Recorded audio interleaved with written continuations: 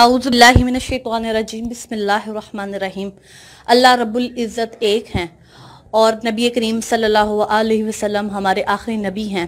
اور میرے نبی کریم صلی اللہ علیہ وسلم کی تعلیمات ہیں کہ دنیا میں چاہے کوئی بھی مذہب ہو، وہ انسانیت سے بڑا نہیں ہو سکتا۔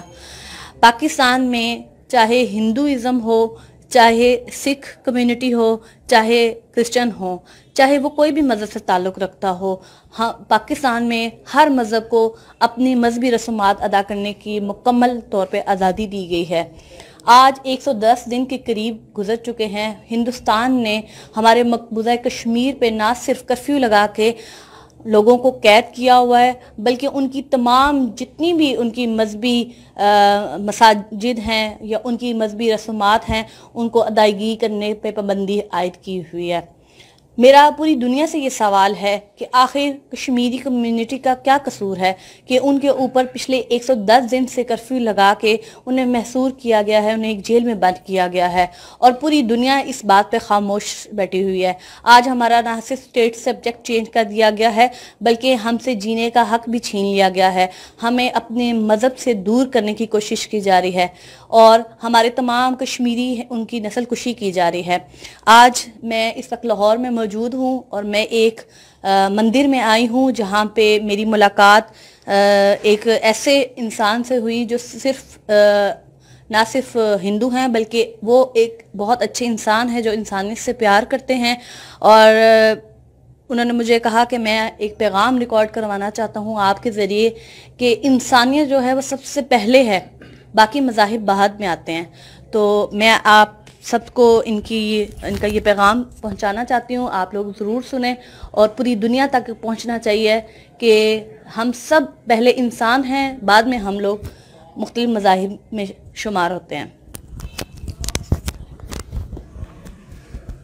ہری تت تتست ہری شانتی شانتی شانتی اوم میں بندت بھگت لال بالمیک مندر، نیلا گنبد، لاہور سے۔ بات چل رہی تھی اور چل رہی بھی ہے برننگ کشمیر کے حوالے سے۔ ہندو بنوں گا، نہ مسلمان بنوں گا۔ ہندو بنوں گا، نہ مسلمان بنوں گا۔ انسان کی اولاد ہوں، انسان بنوں گا۔ سب سے پہلے تو ہم انسانیت سے تعلق رکھنے والے اور انسانیت سے تعلق و بعد میں ہمارے مذہب ہیں۔ اور انسانیت کا مذہب تو افضل اور بالاتار ہے۔ میں بات کرتا ہوں اپنے پاکستان میں جتنی مائنارٹیز اس وقت موجود ہیں۔ یہ پاکستان ملک ایک ایسا ہے کہ جس میں تمام مذہب کے لوگ بستے ہیں اور مائنارٹی کو اتنا حقوق حاصل ہے کہ ہر اپنے اپنے مذہب کا جو بندہ ہے، جیسے کہ ہم بارمک ہندو سے تعلق رکھتے ہیں مذہب سے ہمارے ادھر جتنے بھی ہم نے اپنے مذہبی پروگرام کیے ہمیں کبھی بھی ہمارے پاکستانی کو پاکستانیوں نے کبھی بھی ہمیں ایسا وقت ہی نہیں آیا کہ انہوں نے ہمیں اپنے اس پروگراموں پہ کوئی چھیڑا چھاڑی کی ہو یا ہمیں عبادتوں سے روکا ہو یا ہمارے کوئی پروگرامز ہو رہے ہوں یا انہوں نے کوئی ایسی ڈسٹربنس پیدا کی ہو۔ اور میں یہی بتانا چاہتا ہوں کہ انڈیا گورنمنٹ کو بھی کہ اگر آپ اس وقت ایک سو دس جی۔ دن گزر چکے ہیں اس سلسلے کو کہ جگہ ہم اتنے آزادی سے اپنے ملک پاکستان میں رہ رہے ہیں ہر جاندار جیو کو چاہے وہ جانور کیوں نہ ہو وہ بھی آزادی مانگتا اور آزادی سے رہنے کا اس کو بھی حق ہے۔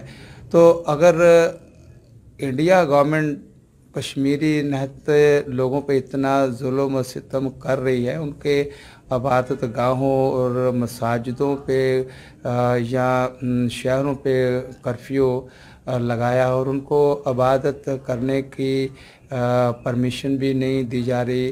اگر وہ لوگ، بچیاں، بچے یا بزرگ کوئی بیمار بھی ہیں، ان کو میڈیسن نہیں دی جاتی اور ان کو روکا جائے ان کو خوراک سے بھی جو ہے نا پریشان کیا جا رہا ہے۔ تو میں انڈیا گورنمنٹ کو اور پوری دنیا کو یہ بتانا چاہ رہا ہوں کہ جتنی بھی انسانی حقوق کی تنظیمیں ہیں، وہ بھی انڈیا گورنمنٹ کو جو ہے نا ان سے بات پرس کرے کہ آپ ان بیچاروں پہ انسان ہیں ہم سب لوگ تو ان پہ کیوں اتنا ظلم و ستم ہو رہا ہے، اس کو روکا جائے۔ یہ تمام جو تنظیمیں ہیں، ان کو بھی یہ قدم اٹھانا چاہیے تاکہ پریشر دیا جائے انڈیا گورنمنٹ کو۔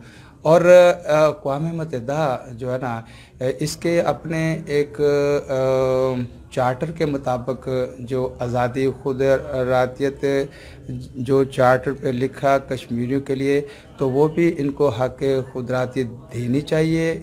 ملک کشمیر آزاد ہونا چاہیے، کشمیری آزاد ہونے چاہیے۔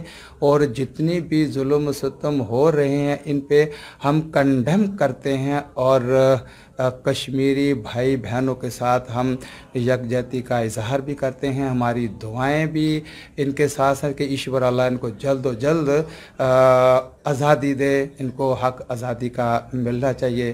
اور ہمارے پورے پاکستان کی دعائیں بھی ہیں۔